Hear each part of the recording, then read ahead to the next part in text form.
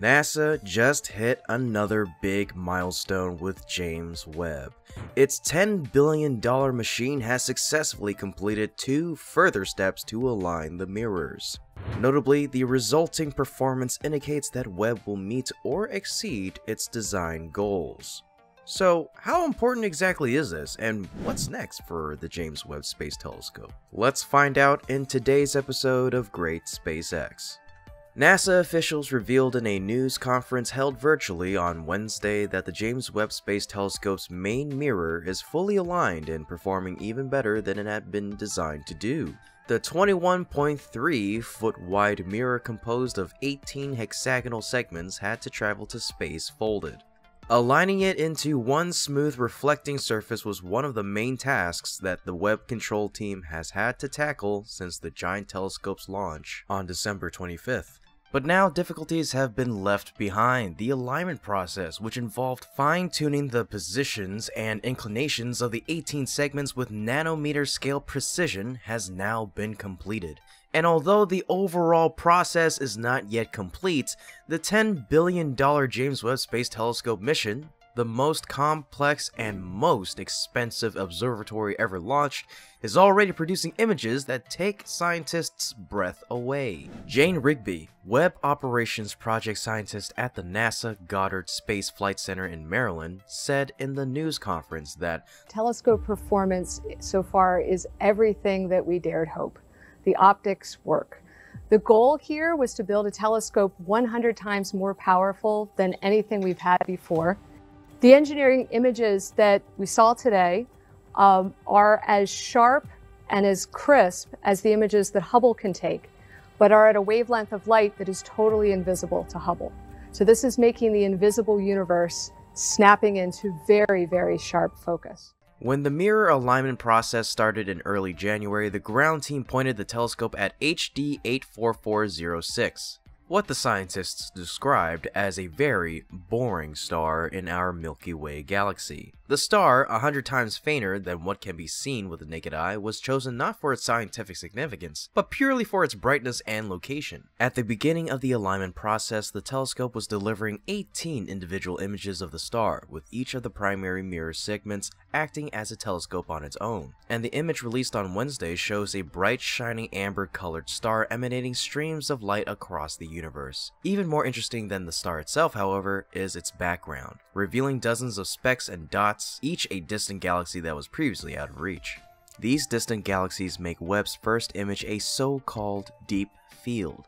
Such photographs, focusing on small sections of the sky, aim to capture the most distant objects in the universe. Deep fields are a specialty of the Hubble Space Telescope, the Webb's predecessor. Webb, however, is set to beat Hubble in its ability to peer into the depths.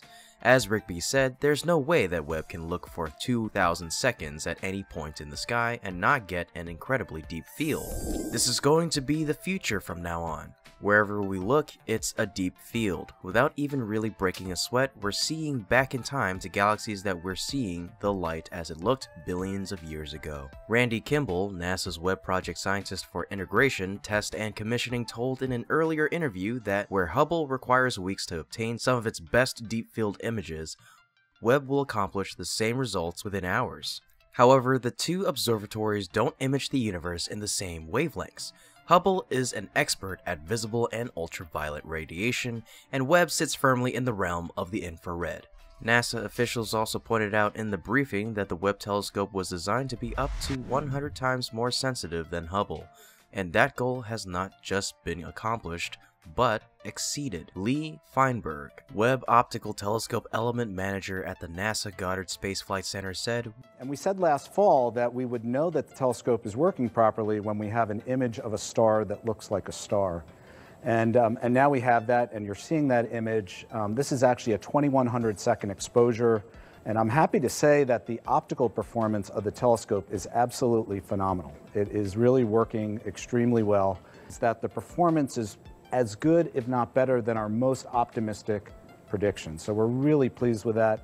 No other telescope before has been launched to space with a foldable mirror. To make the mission possible, the engineering teams at NASA and its partner organizations had to develop completely new technologies that had never been flown in space before. As a result, the James Webb Space Telescope project faced many delays and cost overruns. The work, however, has paid off as the telescope has sailed through all of its major commissioning milestones without the smallest hiccup. Thomas Zurbuchen, NASA's Associate Administrator for Science, said in the briefing that We'll start out with Thomas for that question. So I'm really interested in other answers, actually. Uh, I just want to tell you, of all the sleepless nights I've had and kind of the worries I've had, they're all behind us now. And it's not because there's no path ahead. There's still mountain to climb. There's important tests that need to be done and important things that need to be proven, such as the alignment. As also all the modalities in each one of the uh, instruments needs to be tested and calibrated. Because even though there's still uh, weeks and months ahead to really fully unleash the power of this new observatory there at L2, Today, we can announce that the optics will perform to specifications or even better. It's an amazing achievement. Well, look, this is one of the most magnificent days in my whole career at NASA, frankly, and for many of us. And of course, we're happy for the new achievement, but still, remember that Webb is not finished yet.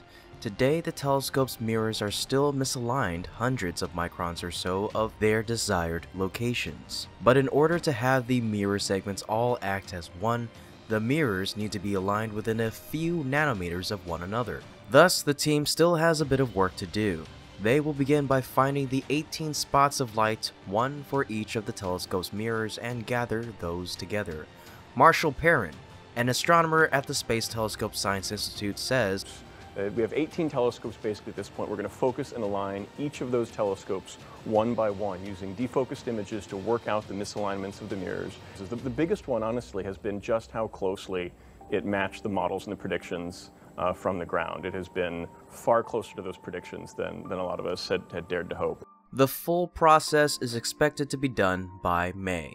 Once it is up and running, the telescope is designed to look back at when the universe began, peering at ancient galaxies that formed shortly after the Big Bang, and so it's expected to deliver both aesthetic value and scientific knowledge. Like Erin Wolf, a scientist on the James Webb Space Telescope at Ball Aerospace said, some of what we're getting from the spectroscopy will be telling you how galaxies are rotating and how the gases of galaxies are getting blown out of them by supernova and determining what the composition of the gas and galaxies is but what you get out of it is really, really cool. So we will both be doing stuff that makes us giddy and happy and always gorgeous, and stuff where we say, oh my God, now we know what now we know what that's made of that we never did before. And that's all the information we have for you today. If you enjoy what my team and I are doing and would like to continue supporting us in a huge way, you can become a patron through our Patreon link in the description below. And don't forget to tell us what you thought about today's content. Everyone's support motivates us to continue delivering quality content and to always improve. And as a quick note, if you have advertising needs, you can contact us directly via email. As always, this is Kevin with Great SpaceX, and my team and I will see you next time.